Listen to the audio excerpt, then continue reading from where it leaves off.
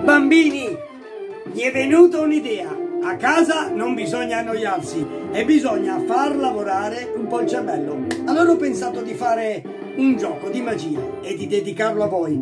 Ho trovato alcune cose, una vecchia tazza e una pallina rossa. Ah, bacchetta magica, um, una bacchetta magica un po' inusuale. Il cucchiaio per fare la minestra. Eh, questo avevo a casa. Vi faccio vedere che la tazza non è bucata, assolutamente. Anzi, vi faccio vedere anche di qua, eh, non è bucata.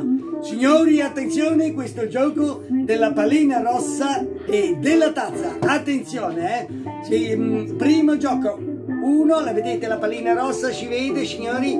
Ve la faccio vedere bene. Si mette qua la pallina, si dà un colpo piano, tac, e la pallina invisibilmente è passata sotto la tazza, signori. Possiamo riprovare. È facilissimo, si prende la pallina nella mano con la bacchetta. Uno, due, 3 e la pallina è sparita, signori, perché è tornata invisibilmente sulla tazza. Possiamo provare, possiamo mettere la pallina in tasca, dare un colpo, tac e la pallina invisibilmente dalla tasca ritorna nella tazza, signori. Questo è un gioco incredibile, si può riprovare, mettere la pallina in tasca, dare un bel colpo, aia, così fa male, un bel colpo e guardate dove è finita la pallina, signori. Noi possiamo continuare, pallina in tasca, un colpo, aia, ho detto piano, troppo forte. Ecco, vedi cosa succede se uno dà troppo forte? Diventa una pallona, una pallona. Signori, vi voglio far vedere che però non è una palla, non sono due palle come sembra, ma per fare questo gioco, signori,